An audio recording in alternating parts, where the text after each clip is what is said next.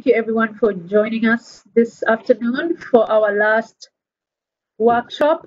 Uh, I will do a little bit of the EDI and EDI fund background and then uh, hand it over to Michael to talk about the specifics of the this RFP. Michael, next. So the Equitable Development Initiative is about four years old, and it started about five years ago with an equity analysis as the companion for the comprehensive plan update. Uh, and usually we're required to do an EIS or environmental impact statement, but this was the first time in any city to have an equity analysis. Uh, the equity analysis uh, produced uh, some analysis that uh, was showing no matter which growth strategy the city was going to go with, there was going to be impact, specifically impacting uh, neighborhoods that had high uh, marginalized communities. The equity analysis was followed by a race and social equity goals and policies in the comprehensive plan. Every uh, every element of the comprehensive plan, from housing to climate uh, to community involvement had uh, race and social equity goals. The PolicyLink helped the city. Uh, and then uh, that was followed by an equitable development implementation plan, uh, and then followed by an equitable development financial strategy and a fund for community driven projects that we're going to talk about later. Next. So it's important to talk about the EDI origin story. And in 2012, uh, not 2012, about 2015, SouthCORE, South Communities Organizing for Racial and Regional Equity. I think, uh, I don't know who right now in this group is either part of uh, SouthCORE or Reset. I didn't hear any individual. Came together to, uh, you know, uh, really put equity in the comprehensive plan at the time. They just had one line saying that let's infuse equity in the comprehensive plan. And the Race and Social Equity Task Force uh, was formed across neighborhoods uh, in predominantly central area, Chinatown, uh, Othello, and Rainier Valley. All of them had, they were dealing with the same impacts in their communities and came together to advocate for the implementation plan, inform the uh, financial strategy, and then uh, inform the PolicyLink's uh, report. And Southcore is about 21 organization in Rainier Valley too, who organized around that. Next. So a lot of uh, development programs or initiatives are normally uh, not values-based. Uh, Equitable Development Initiative is values-based, and these are the about seven values that was co-created by the advisory board, and uh, and and we start with acknowledging historic injustices and support efforts, which are explicit about addressing systemic racism and the institutional barriers that exist in communities of color. We value uh, and focus decision making processes into structures of community development with clear accountability to impacted community members, centering communities most impacted by displacement and growth. Uh, we are value based around community driven strategies and believe in community self determination, influence, and leadership, and know that communities are resilient and resourceful and tapping into their own collective cultural stones uh, curbs displacement. And then we have a value around accountability and uh, support efforts which are most likely to bring in improvements to those impacted by displacement and lack of opportunity. And we also recognize that affected communities deserve strong, accountable, accessible, and transparent and culturally appropriate solutions that includes ongoing oversight government and other entities to address the negative impacts that they have experienced. And we also uh, have a value around flexibility and interdependence.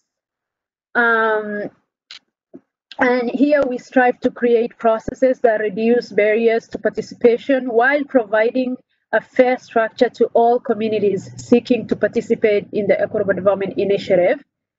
And then I skipped leverage. We support efforts that leverage community resources and support the existing assets available to low income communities.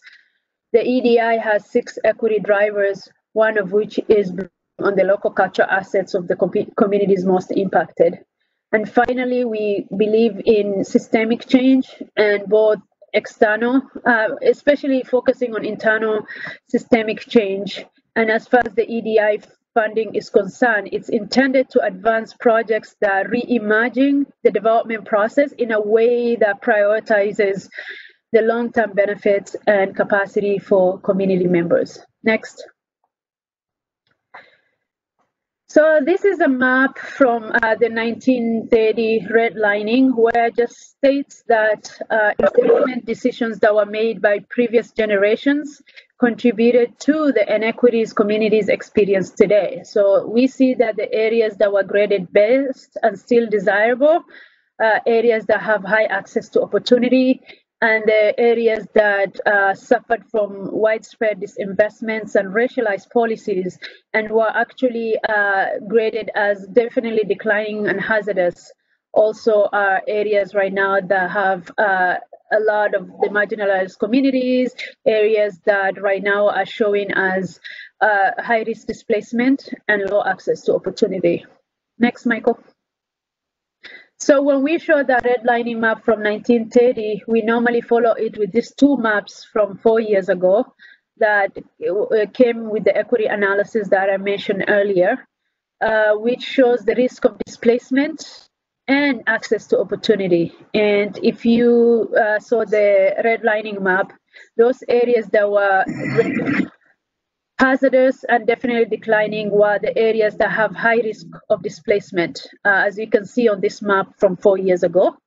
And these are also neighborhoods that are known for their density of people of color.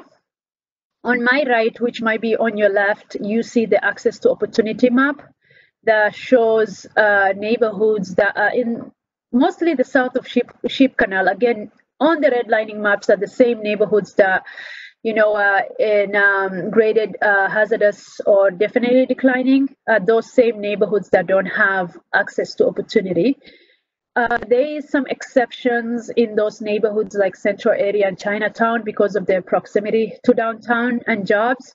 But then again, the question we ask here is who has access to those jobs? uh, those the communities uh, have access to those jobs or are we getting in jo- and uh, these jobs filled by other folks from even other countries and things like that?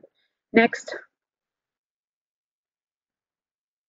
A lot of times people ask us to show an example of the layers in the equity analysis and these are two that we show the proximity to regional regional job center again you see the travel time to designated King County urban centers and manufacturing and industrial centers in minutes.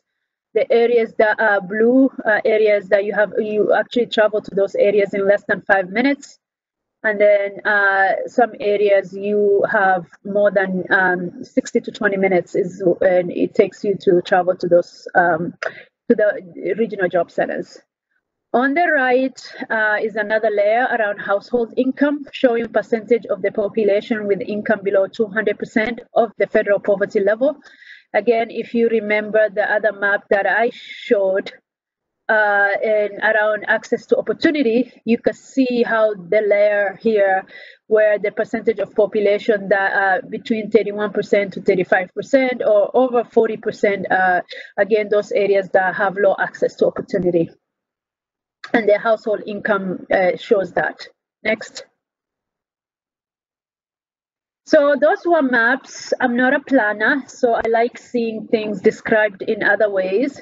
So our equitable development based targeted strategy will prioritize neighborhoods that have high levels of chronic and recent displacement risk, who have historically history of racially driven disinvestments, have significant population of marginalized communities, and we define marginalized communities as actually communities that you know right now what people are calling BIPOC, Black, Indigenous, people of color, who are also low income. These neighborhoods also had community-driven uh, strategies created through inclusive community engagements. I talked about building on local cultural assets of those communities. How are we seeing with what these neighborhoods and communities are doing in their neighborhoods from an asset-based perspective?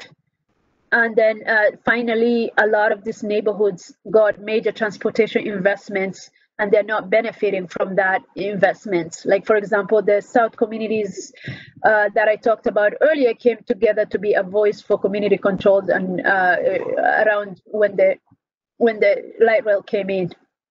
Next. So the Equitable Development Initiative has the dual purpose of mitigating displacement and increasing access to opportunities and strategies to achieve community stability, stability and resilience in the face of displacement.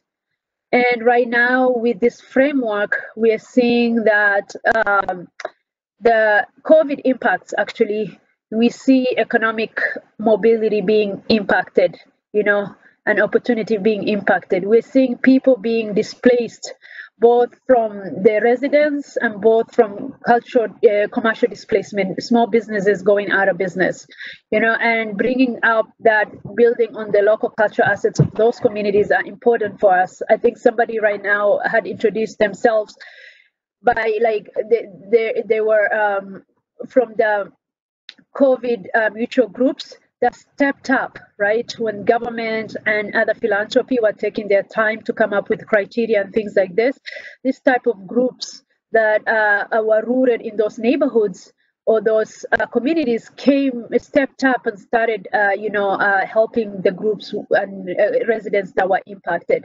For us each of the equitable development grantees brings at least three equity drivers together in one project. We just don't look for a project that just does economic mobility for example or just residential displacement but at least they are supposed to show that they're bringing at least three of these equity drivers in one project. Next michael and then another important aspect for uh, EDI is like reframing how we talk about working with communities most impacted from like we are helping these communities to like we're working together to advance equitable outcomes. So that's another really important uh, EDI uh, theory of change. Next. And then, you know, this year we have $5.8 million available, available from the EDI fund. And then another important aspect for us is how are we making sure that we are also shifting our language from managing risks to like we have to try, we have to work and partner with these communities to come up with solutions or they already have the solutions. How do we invest and support those solutions is one other aspect and key value that EDI brings in. And I think Michael's going to take it from here. Yep, I muted myself, so I keep millennial credentials. Uh, that's good. Uh, so, you know, this is where we sort of pivot from how to think and understand EDI as a program to talking a little bit more about the specifics of the RFP um, and trying to help answer questions about how to go about applying for funds for this year. So all of the values and history that Uba talked about really condenses in a lot into sort of core criteria that are no matter what EDI is doing, these are going to be things that that we as a program and, and our, all of our partners are constantly centering. And so the the focus on high risk of displacement communities and ties to the displacement risk maps that, that we looked at earlier. Um, the depth of relationship from the project sponsor is really a criteria about you know who is who are the people authentically doing the work and are we actually centering those who are most impacted in the decision making and the way that um, the grant dollars flow into community and then the equity drivers are aligning with the equity drivers that Uba just talked about um, and making sure that um, what we're working on are real community development projects and we're not just funding a functional area of somebody who says you know i just want to do housing and i'm going to say that that is an anti-displacement strategy. Housing clearly affordable housing clearly is an anti-displacement strategy but there are sort of other programs and and we're there are ways to think about affordable housing that are from the programmatic housing aspect, and there's ways to think about affordable housing from the community development aspect. And so we really challenge people working with us to think about these things from the community development side and how does the thing that you're working on interact with the other aspects or the complicated nature of community and you know people are multifaceted and their needs are multifaceted and so how are we in having a deeper level of conversation about the work that's being done.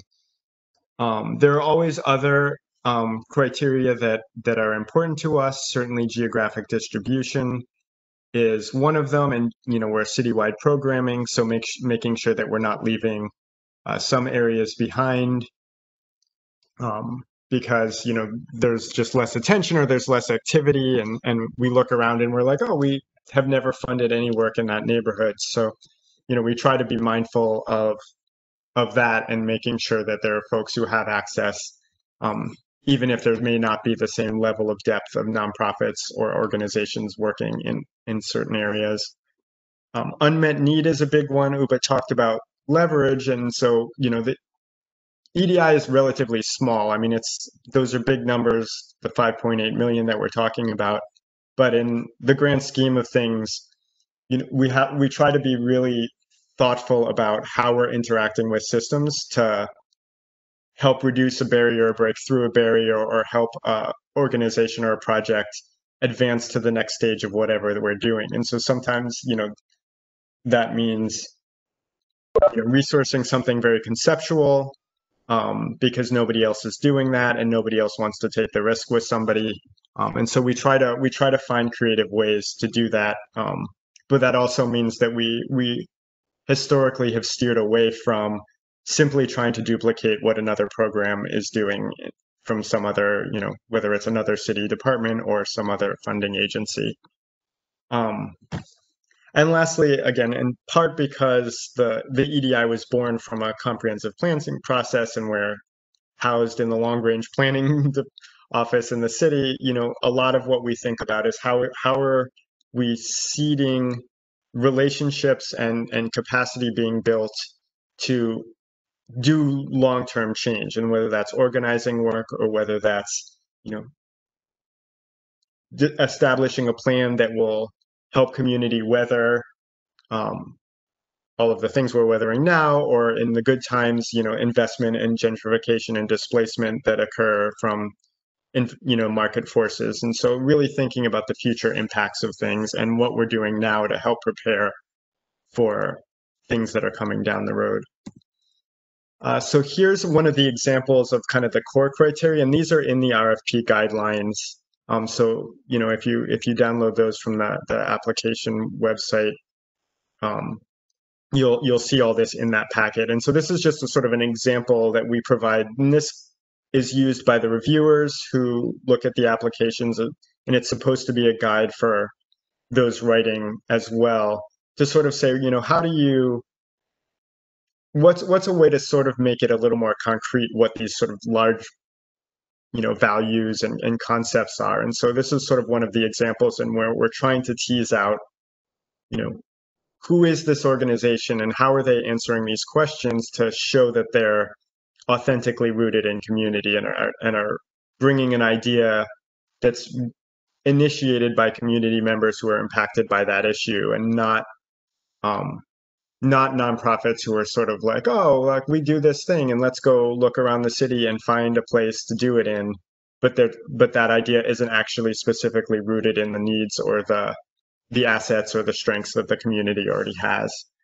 Um, so this is this is the depth of relationship example. Another one again is that's very important is the equity drivers. And you know this one is a, a little complicated too because the equity, you know, you can look at the equity drivers and say, well, how is this $50,000 grant possibly going to affect displacement in the city of Seattle? And how am I going to have a measurable outcome about that in a, in a year of work? And so, you know, we try to use this more to say, you know, are you thinking about this in a way where there will be tangible impact for people? And so, you know, this isn't you know we're, we're all absolutely open to creativity and want to encourage that but we also do want to um, be mindful that what we're we're talking about here is stewardship of resources to people who need it. And so, you know, a lot of these displacement has been a crisis for a long time, right? And you know, if you look at the central area for since the 70s, the the, the black population there has been displaced. So, you know, how do, how are we doing things that are actually potentially going to make a difference? And how are we keeping those needs in mind as we're trying to put this together? Um, and also, again, the, the, the importance of the three equity drivers is to make sure that we're we're thinking holistically about how we relate to community and how the idea relates to community. So a little bit about the background of where our funding has come from. The initial seed money for the program came from the sale of the Civic Square block, which is the city block right by the Pioneer Square station. That's a big hole in the ground. That was city property. It was sold off to a developer, and and so we, in the first two years of operation, we used that money to get it started. Um, community Development Block Grant, the CDBG, there is a federal program, so we get a small amount of money through that. It's incredibly difficult to use and j- almost always costs more to comply with the rules than it does um, than we have to give out. So we tend to be pretty um, flexible and creative with how we're using it um, to make sure that it's a good fit regulatory and, and we're not setting somebody up to say, well, we gave you this award, but now we've given you 10 years of misery as a, you know, as the, the cost of that. Um, starting last year with the passage of the short-term rental tax, which is the Airbnb tax, um, we've been we've been slated to get five million dollars a year. Sort of the first five million that comes from that tax is supposed to fund the program this year because there's very little revenue actually being generated from sh- short-term rentals. Nobody's going anywhere, so nobody's using our Airbnbs. Um, council and the mayor backfilled us with general fund revenue. And then uh, last year, there was also the sale of another surplus property called the Mercer Mega Block that's in South Lake Union. Um, that money, we created a separate program that is was specifically around helping projects that were in our pipeline uh, acquire sites because what we were finding was we were making awards for people to buy property um, but we were capping the awards at a million dollars which as folks know in seattle if you're doing any sort of development that's more than buying a house um, a million dollars doesn't get you very far. And so we really needed to create a, a specific program to help bridge that gap and make sure that folks were acquiring property and not losing sites because we were watching you know our partners go after site one after another and not be able to to close the deal and so this year again we're we're backfilled with the five million dollars. Um, we'll talk about how that's getting distributed.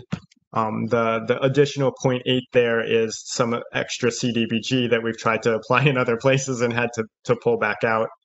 Um, and uh, there's a big shift. So a lot of what I was talking about before was very real estate focused, and that's you know the orientation of the prop the program has always been a very real estate focused program around acquiring land, helping develop community ownership of the space in the neighborhoods that folks are operating in. And this year we had a real pivot when when COVID came in. You know we we started asking what's the what's the most important thing we could be doing this year and is it doing the same thing we've done before or should we we come up with a new strategy and what we heard from basically everybody was this is going to be a terrible year this was in february so little did we know but um, we we really need help we need support we need to be flexible and just get some dollars out in community in a way that helps folks stabilize and provide services in creative and flexible ways and just meet the community where they're at. And so we we really made a pivot this year to um, these much smaller grants. Um, hopefully, we'll be, we'll be doing a lot more of them. Usually, we would only bring in seven to ten new projects, um, but we're going to hopefully do forty or so grants this year. And the idea is is a really a range of stuff and and and pretty low bar about what is eligible conceptually. So that could be direct community support if if you all are looking around and you're saying, you know, this thing is not, you know, there's people in my my neighborhood and in my community that are not getting what they need and and it's really affecting folks. How can, you know, like what's the, what's how do we how do we meet that need, right? If if no if nobody else is doing it, what's the idea? Um, but this could also be, you know, we as an organization are looking at these challenges, and if we don't build some infrastructure for ourselves for how to do the work and keep track of things, we're not going to be able to to meet that need. And so even if there are resources out there, we can't take advantage of them. And so we need to invest in ourselves to be able to access some of these other resources. Or to, you know, there's a lot of stuff going on and we're, you know, we're managing the crisis at the moment to the degree that we can. But there were all these things that we know we need to do. And this could be, you know, when we talk about disaster gentrification, we're talking about, you know, having seen in, in 2008 and 2009 when that downturn happened and the way that speculative money came into low income communities and started buying property and the slow roll that that effect that had and how hard it is to intervene after property is transitioned. And so can we work with folks creatively to come up with strategies now that may be able to intervene earlier in that process and prevent some of the loss of, of community assets uh, you know five or six da- years down the road when we realize what's happened so the the funding is spread in a couple different ways. So we've we have about 25 projects in our existing pipeline. And one of the things that we talked about when we were saying what is, you know, how do we help everybody get through is what does it mean that we're in relationship, you know, when when fo- we work with folks, we've we've always said, you know, we're building a partnership for a while, right? And we're we're our success is shared. And so part of the answer to us this year was let's just make sure that we're not putting folks in a t- position where they were using EDI funding to build their capacity and make sure they were op- able to operate.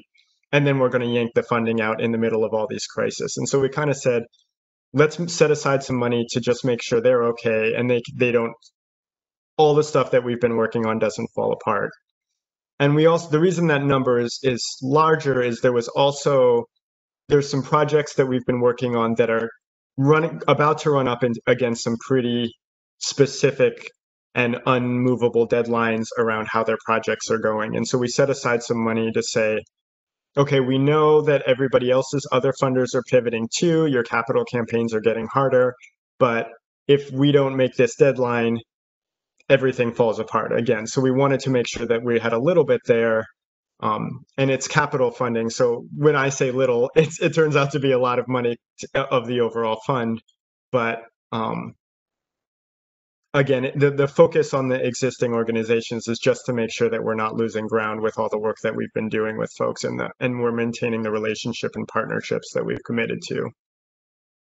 Uh, so this RFP is really concentrated on this new partnerships and sort of the trade-off was we said, you know the existing organizations we're, we're doing all these things to to help but you guys cannot apply for the new partnerships. And so we really said okay this is really about the new folks who are out there who didn't have access either they applied before and we were too competitive and we ran out of money or you know you're not doing capital projects and and this is really service oriented or other kinds of things that weren't a good fit.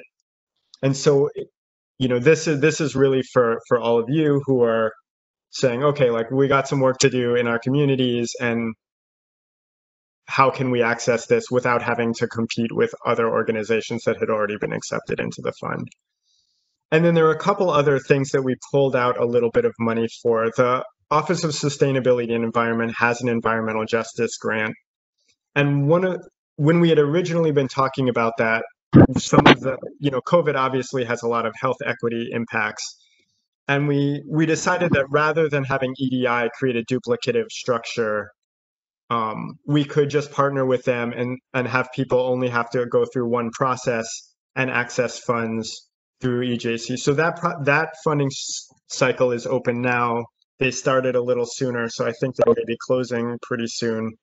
Um, the there should be a link on our website and in the RFP guidelines for that as well to access that application. And we just added some money into their program and, and said, you, you're, you, you're aligned with our values and our priorities. Um, and let's just try to make this easier for folks rather than having two different government programs that people have to write grants to. and then the Seattle Together partnership, Uba can talk a little bit more about this if there are questions, but it's sort of an interdepartmental program that the city put together in response to COVID around um, helping with sort of civic togetherness and, you know, helping folks in community sort of remain connected to each other. Um, so I'm not as familiar with all the work they're doing, but Uba sits on that, that table if folks have question about the kind of things that those that funding is going for. So within that 1.75 million bucket, there's sort of we broke out um, three priority areas that there are, there is obviously some overlap to all of these things again because community is multifaceted and complex, but we try to um, create a way to to help folks distinguish a little bit. And so, you know, BIPOC social infrastructure is really in, in many ways a response to the Black Lives Matter organizing and movement that's been happening.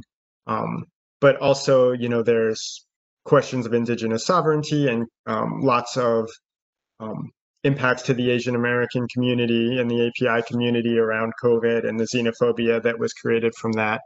So, so this was funding that was really trying to to make sure that we were mindful that that was, you know, COVID is one of the major issues we're facing, and the economic downturn is one of the major issues. But um, there's been so much di- disparity in the, those impacts um, and you know the xenophobia that's come from that and the, the discrimination that's come from that has been borne by people of color. And so so how how are we making sure that we're setting aside a, some funding or a priority to help help those organizations or or the folks who are working on Korean disaster gentrification? Again it is a little more focused on on the economic impacts of you know the recession and also you know highlighting a bit the forward thinking you know how do we not make the same mistakes we did last year? And so what are the creative strategies that people are working on to help protect community if there's a recovery and it starts pushing in a way that is inequitable in the way that recovery happens and community assets are re-endangered? And then the COVID-19 community response and recovery again is is can carry a range of topics, but the focus is a little bit more on how do we all you know again how do we keep community healthy and make it through the year and what what do folks need in the immediate short term to to get through and and help their communities with the things that that people are hurting for and so the, the timeline, we're obviously in the thick of things. This is the um, last webinar that we have. Um, we've been really scrunching down the timeline to try to make sure that we can make awards by the end of the year. Um, so, you know, the applications are due next week. And then the way that EDI reviews applications is we convene um, impacted community members who have experience with the issues that are that are a topic area. And so one of the things that that requires is we make sure that we're not having people review their own applications. And so we have to wait until all the applications are in to um, ask people to to participate on the grant review to make sure that there's no conflicts of interest and we know and we're not you know recruiting folks who then they have to step out because they ended up being connected to one of the applications. But we're hoping that we can do that pretty quickly. Again, there's that range there because that's us moving as quickly as we can while understanding that people's schedules are complex and, and we haven't had a chance to be able to lock in those dates because we don't know who we're locking those dates in with. Um, and then after those decisions are made, there's an internal city process that has to go through to get final approval. That is not super in our control lots of things happen that are emergencies that that take bandwidth from the decision makers. Um, but we're really pushing to have that decision done by by Thanksgiving. And so, you know, the idea being that folks have a little bit of time to digest that they got the awards, and then we can really run right into the contracting process and try to get money moving as early in, in 2021 as possible. And you know, we talk a lot of we've talked a lot about partnership and what it means to be working together. Um, this one is going to be a little different, where the expectation is really that these are um, these are one-off contracts, and and we're not really sure. We'll, you know, we'll probably pivot a little bit in 2021 Um, we don't know what the budget, the city's budget looks like, so we don't know how much money we're even talking about. Um, but assuming that we have an RFP, we'll have to kind of make an assessment after the budget about how that would work. But you know, we've never been set up to do these small grants or or continue carry this work for a long period of time. So we're really assuming these are one-offs, and and there will be a discussion sort of with the larger community um, as we ramp up for the next RFP about what the priorities are. And you know, we may be on the you know, there's questions about when the vaccine will come out. You know, there's so there's so many things that we just want to be mindful of not setting a strategy too early. Um, so that we can again if, if we need to do something new or, or different to, to best meet the needs of folks um, we're going to try to do that in 2021 as well uh, so that's the the formal presentation you should all be able to either unmute yourself or wave your arms wildly and i will unmute you um, also feel free to use the chat box um, and i will do my best to um, read out those questions um, and answer them and again this this call is or, or this webinar is being recorded. So um, if you I said something and then you kind of missed all of it, there's an opportunity to go back and listen to. But um, Uba, do you have any other things to, to add before we turn it over to questions? No, just waiting for questions. And people are not in, cam- in on camera, so you can't see them waving, but yeah, only only a few people can wave. Feel free to unmute yourselves.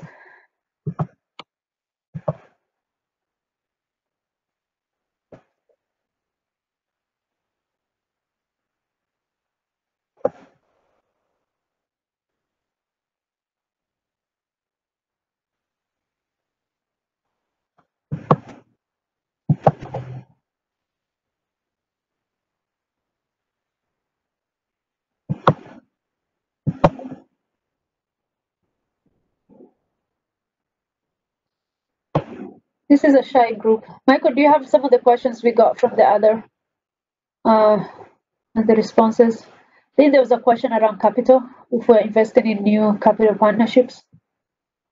Sure, sure. I can talk about that. And also, you know, if, if you don't want to ask questions in the, in the group, um, but or if something comes up later, um, uh, I'll put my email in the chat box as well. But feel free to reach out to me via email.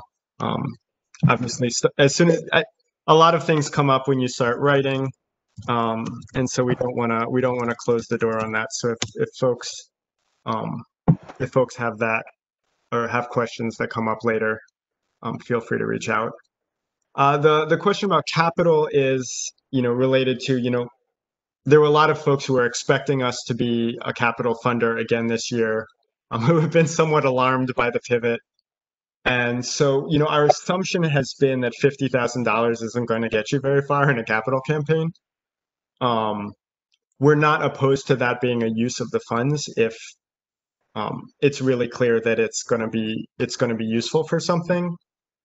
Uh, you know, in general, in the past, we've been very open and intentional about being a first in funder with capital projects and expecting to sit with make the award and then have folks use that award to get other funding from folks and have sort of have their project have more gravitas.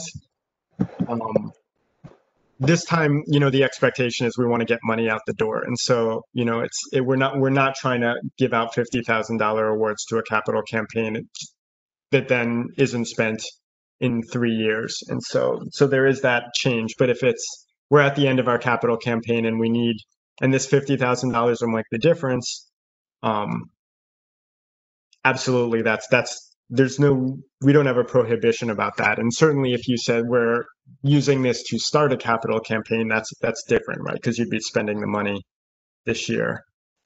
Um, there's a question in the chat about how do i view the webinar if i came in late? So um, all of our webinars are getting recorded and so on our website there's a link to all of them. And if you click on all the first three should already be switched over to being the recording. And so this one, hopefully by Friday, we'll have we'll have up. Um, they're all kind of similar, and I, I'm going to take a stab at now that this is over, doing a frequently asked questions and getting it up there. Um, but I've not been doing a good job of talking and writing questions down when people ask me verbally. So um, we're going to do our best to try and get something up, but you should be able to listen to all four if you um, want to. Um, and again, feel free to free if there's a specific question, feel free to to ask me um, through my email. And I'm so far doing pretty good about getting back to you. Although if you wait till the 22nd, um, I can't promise anything.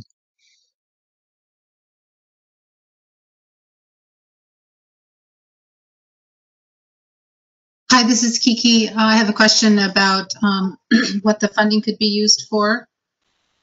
I see that you say the funding is not intended to replace existing funding opportunities um, between services, um, but I'm curious about the um, well, the COVID impact on our community. Specific, the biggest impact has been around housing. Would we be able Mhm. to use a fund like this to provide housing rental assistance and emergency housing for folks impacted uh, from our community, which is primarily Black, Indigenous, and people of color impacted by incarceration? Sure. So, so, and I will admit that this can be frustrating for people who are writing grants for us, and, and we we struggle with this every year about how to do this. And so we we've set up the program to be very open about what we can and can't do, and not to have a lot of rules that say, you know, you can't provide this. And so if you were if you awarded funding and you said, this is what we want to do with it, we'd absolutely be able to work with you on that. I think the question that you'll want to answer is you know, the reviewers will be looking at a lot of applications and trying to help distinguish which ones get funded, and they don't have an easy job. And so I think the challenge in that case would be to look at the landscape of programs that are doing rental assistance, whether it's, you know, the United Ways program or the, the King County program that launched, um, and say, you know, those are great, but they're not meeting the need that we have. And so here is, you know, we need this to do this thing that that nobody else is, is really serving very well.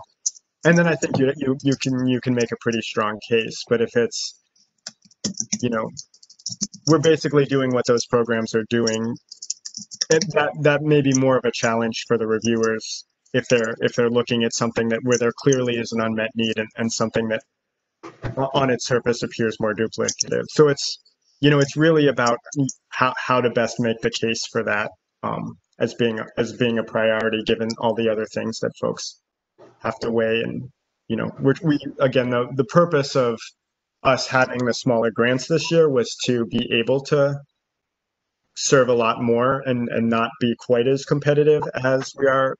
But we also that might also mean that we just have a vastly higher number of applications coming in. And so as a percentage of what we're able to fund it you know we we don't know. This is this is kind of new territory for us too a bit Okay, because it sounds pretty broad as far as um, it's not just focusing on community organizing and systems change kind of work, but it sounds like there is also the space for um, emergency impact, uh, financial, um, direct service kind of resources there. So- yeah yeah exactly i mean we talked about the direct support yeah. Yeah. So when we talked about the direct support and the COVID stuff, like that's really kind of making sure that that's part of the overall framework of what we're talking about is that kind of work. Okay. And then when you're talking about focusing on displacement strategies, um, that's really looking at how to keep folks within the Seattle city limits from having to move out of the city for economic reasons. And I apologize, it's a lot of language that I'm not really Sure. in.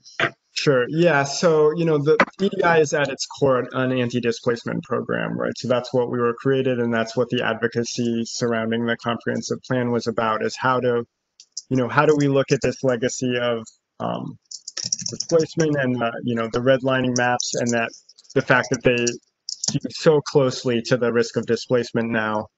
Um, and how do we center that in, in interventions to either if you know if there's investment and gentrification happening is there a way to do that in a way that lifts up the the people who are living in those neighborhoods or can we prevent some of the gentrification from happening while also creating the opportunities for people to invest in themselves um, so so you know, anti-displacement is is fundamentally one of the the core focuses we have, which is why, again, Yeah. this this RFP is a little bit of a stretch for us too.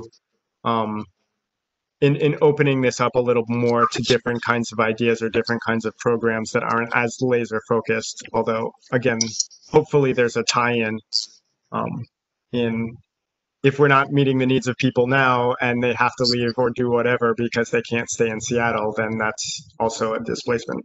So, I have a question. uh, sure, go ahead. This is Preston Hampton. Um, you didn't get the second part of my question with the first time. So No, when is the next RFP coming out? If somebody can't Oh, make the deadline. Sure. Sorry. Uh, thanks. Um, so we're not sure. Um, this is all the money we have for this year. Um, we typically do them on an annual basis. Uh, the city's in a bit of a mess with its budget. And so we're, you know, kicking around ideas, I would say, about what we would do in 2021 with the assumption that we will be doing something.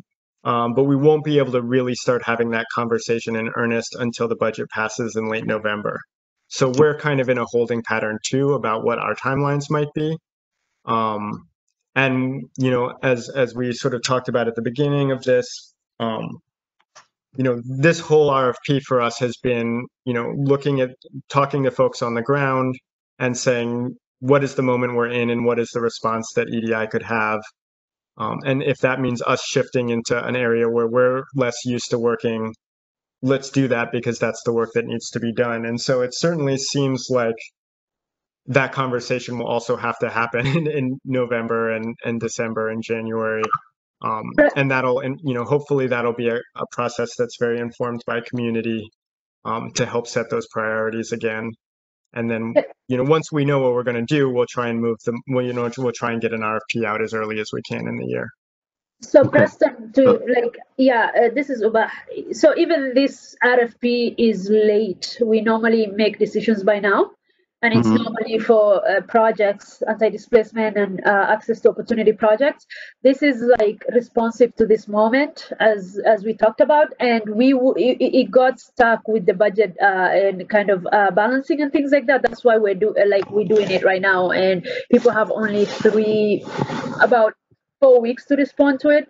But just wanted to add that it's like even though it's closing on the 23rd, it's a two-page uh, LOI with like four questions, but also like um hopefully LOI meaning something like uh, a letter of letter of intent? intent. Yeah.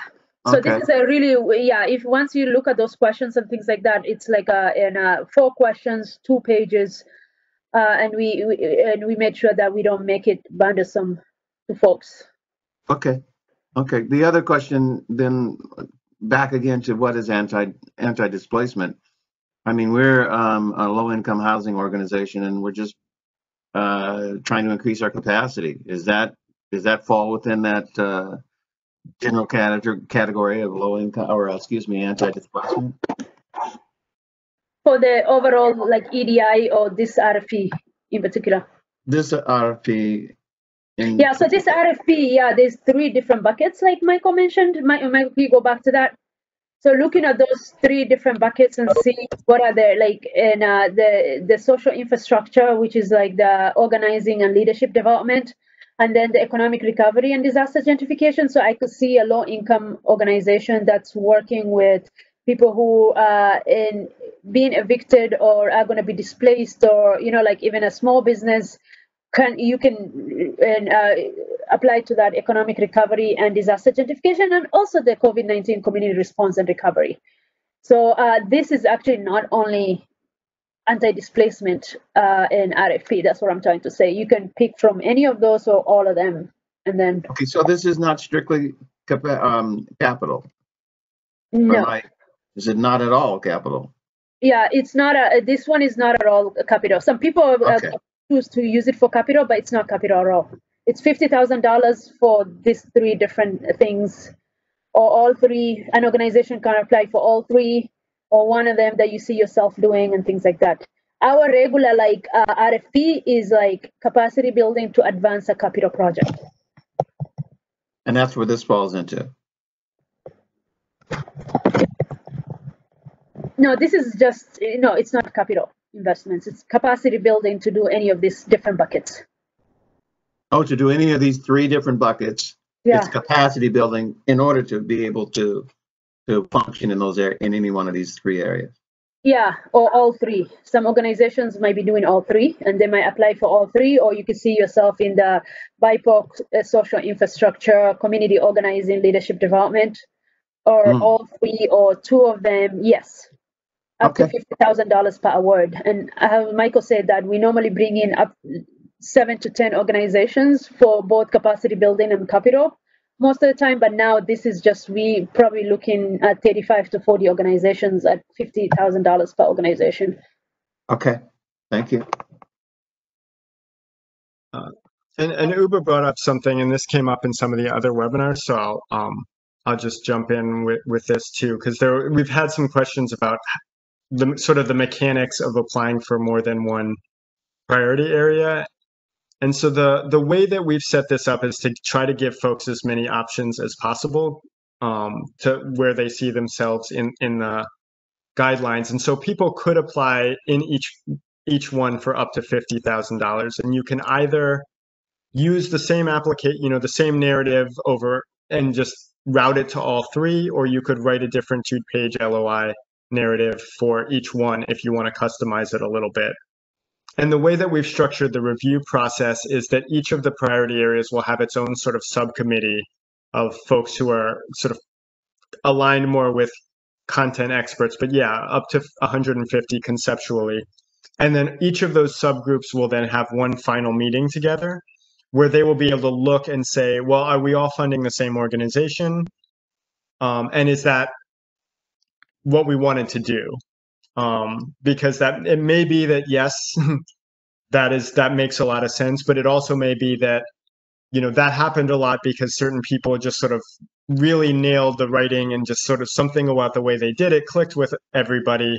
But when we look at the the bigger picture of what we're funding the values that uba talked about in the beginning are getting lost. And so you know we're not you know certain areas or certain people are not just not getting funded or resourced at all and so we've we've sort of built in a check and balance in our review process to give you all as applicants a lot of different options about how you would want to engage with us um, potentially create a bunch of extra work for ourselves um, but then have a way to to sort of get the recommendations and vet them one more time looking at the bigger picture of the program and its potential impacts on the city. But hopefully that um, that's helpful and and allows you as as potential applicants to to scale with what your you want your workload to be